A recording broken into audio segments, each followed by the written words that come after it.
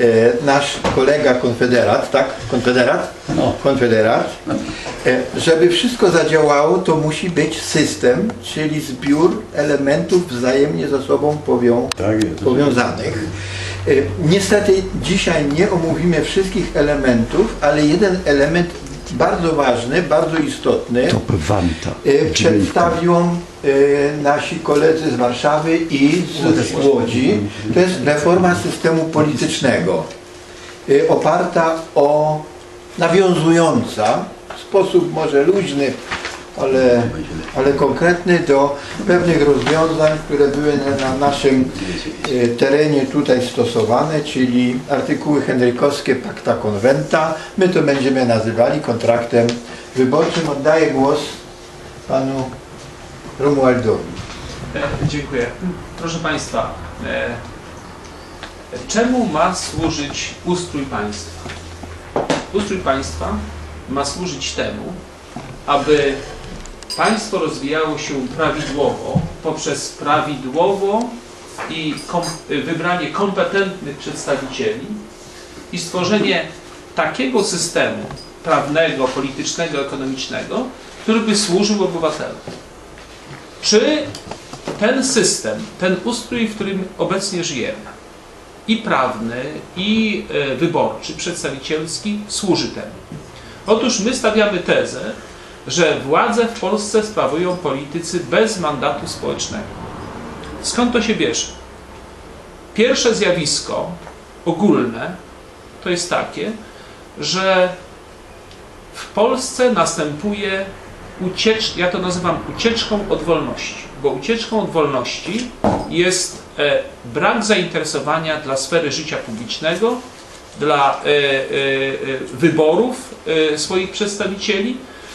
Polsce buduje się e, przez ostatnie 26 lat wizerunek polityki jako rzeczy absolutnie ciemnej, brudnej, e, gdzie uczciwi ludzie nie powinni w, uczestniczyć w tym. Mało tego, e, nawet nie powinni się tym za bardzo interesować. Stąd, proszę Państwa, ta absencja w wyborach zupełnie niezrozumiała, bo jeżeli nam zależy na tym, żeby mieć porządnych przedstawicieli, to powinniśmy w nich uczestniczyć.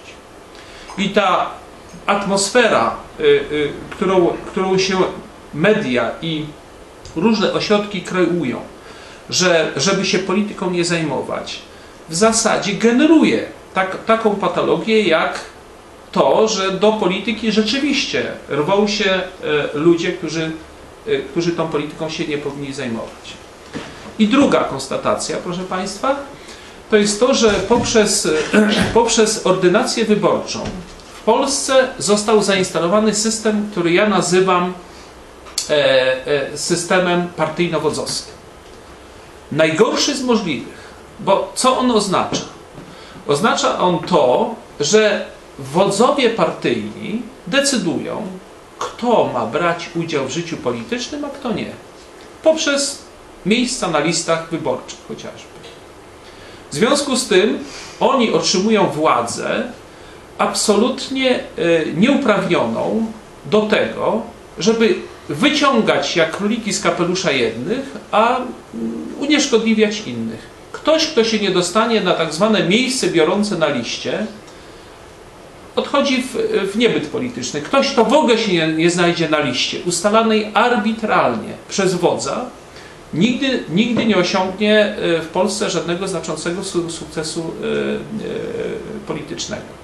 Stąd też ludzie utożsamiają się nie z konkretnymi politykami, tylko muszą głosować na partię, nie wiedząc, przy którym nazwisku postawić krzyżyk, ponieważ na, tym, na tej liście najczęściej nikogo nie znają. To są nazwiska kompletnie anonimowe. W związku z tym e, politycy są oderwani od swoich wyborców.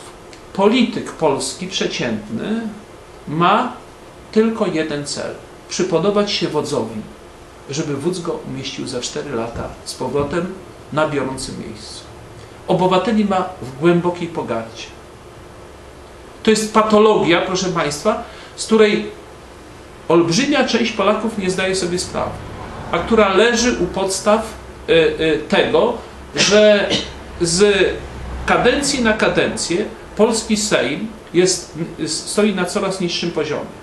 Stopień serwilizmu, oddania y, różnym grupom wpływu wodzowi jest tak wielki, że ci ludzie nie są w stanie pracować w sposób odpowiedzialny, etyczny i suwerenny. I my w swych, e, w swych e, wszystkich działaniach idziemy w tym kierunku, aby ten trend, tą patologię e, radykalnie odwrócić. Jeszcze jeden aspekt tej sprawy, który tutaj nie jest opisany. Otóż, proszę Państwa, sytuacja, w której obywatele na najniższym szczeblu wyłaniają swoich przedstawicieli, znanych, prawda, takich, których można kontrolować, jest nie do zaakceptowania przez e, grupy wpływów, przez faktycznych decydentów sceny politycznej. Ponieważ trudno jest im roztoczyć kontrolę nad 460 osobami. Natomiast łatwo jest roztoczyć kontrolę nad dwoma, trzema, czterema wodzami partyjnymi. To jest jakby istota naszego, na, e, naszego zagadnienia i naszych patologii politycznych. Jacy są to wodzowie, to Państwo zdajcie sobie z, z, z tego sprawę. I teraz to, co my proponujemy, to yy, przepraszam, yy, pan Jacek Kędzierski będzie mówił o, o, o, o, naszych propozycjach dokładnie. Ja tylko powiem o celach, które, które przyświecają naszym, naszym wysiłkom. Więc przeniesienie wyborów z ośrodków decyzyjnych centra partyjnych do lokalnej społeczności, tak jak powiedziałem. Konsekwentne rozdzielenie władzy ustawodawczej, wykonawczej i sądowniczej Wyeliminowanie pieniądza jako czynnika dominującego kampanię wyborczą. Proszę Państwa, e, nie ruszymy z miejsca, jeżeli nie uświadomimy wyborcom, Polakom, że trójpodział władzy na właśnie ustawodawczą, wykonawczą i sądowniczą jest, e, jest podziałem e, nieaktualnym. Jest podziałem w tej chwili sztucznym. W Polsce i na świecie tym świecie, powiedzmy zachodnim, którego częścią jesteśmy, obowiązuje pięciopodział władz.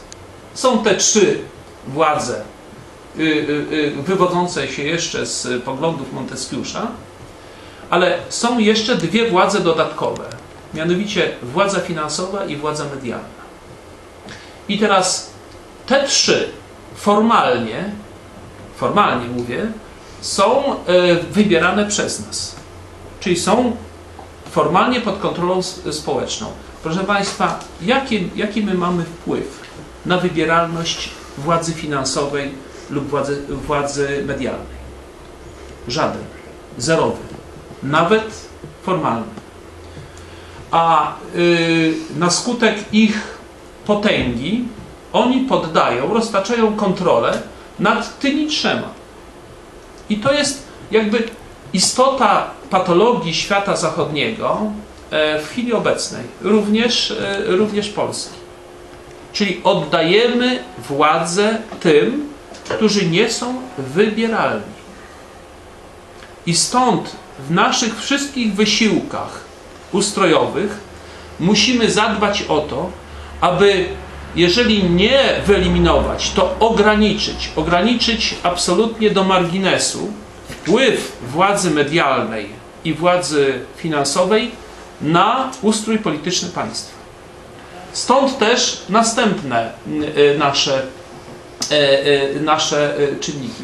Wyeliminowanie postulaty, wyeliminowanie pieniądza jako czynnika decydującego o kampanii wyborczej E, absurdalność ostatnich, e, ostatniej, e, ostatniego referendum między innymi polegała na tym, że jest pytanie no, skądinąd zasadne, że czy chcesz, żeby budżet państwa finansował partię polityczną. Oczywiście każdy człowiek o zdrowych zmysłach nie chce.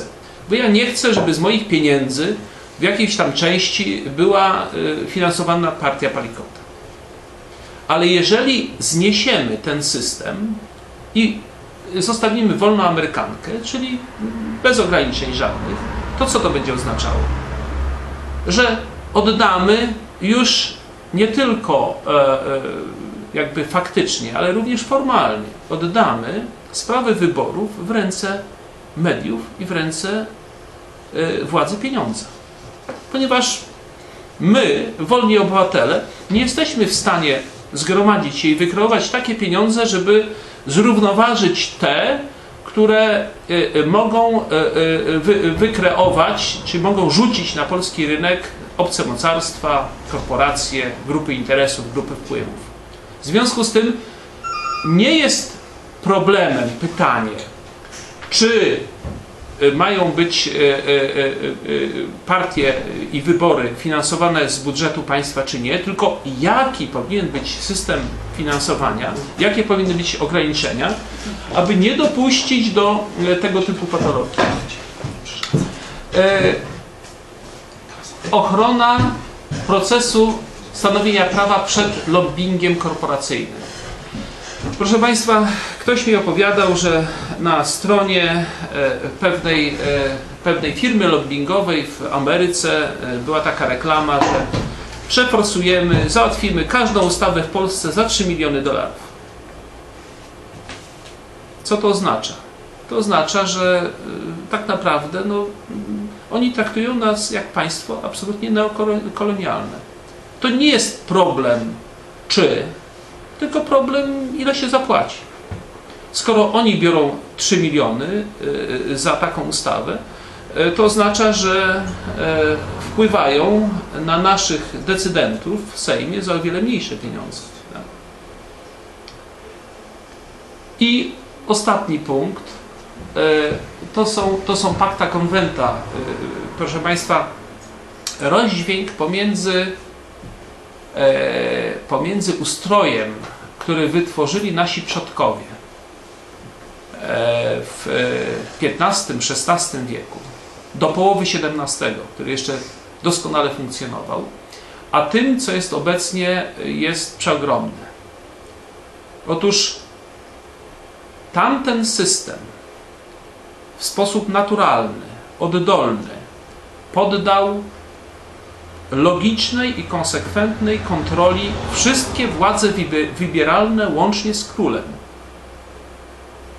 Nie było głos możliwości głosowania na abstrakcyjną listę, na jakiegoś wodza. Głosowało się na konkretnego posła na sejmiku ziemskim. Mało tego, ten poseł, zanim otrzymał mandat, musiał podpisać umowę ze swoimi wyborcami. Typu nie zagłosuję za wojną. Tak? Albo zrobię wszystko w Sejmie, aby znaleźć środki na odzyskanie ziemi smoleńskiej w wojnie z Rosją. Albo dołożę wszelkich starań, aby Akademia Krakowska dostała właściwe środki na funkcjonowanie, żeby był rozwój. I jeżeli nie spełniał tej umowy, szeregu takich umów, był w następnej kadencji odwoływany. Mało tego, nie było możliwości odwołania go w trakcie kadencji, ale wytwarzano tak dużą presję moralną, że jeżeli zagłosował niezgodnie z wolą tych, którzy go wybierali, musiał składać mandat. My idziemy dalej. Tak? My postulujemy ustrój, w którym w trakcie kadencji posła lub senatora mamy możliwość jego odwołania on nie może odpowiadać przed wodzem, przed grupą interesu czy przed koterią i mieć w pogardzie nas. On musi odpowiadać przed nami. I to jest ten jakby radykalny krok, który musimy zrobić, żeby uzdrowić nasze stosunki polityczne. Dziękuję. Dziękuję.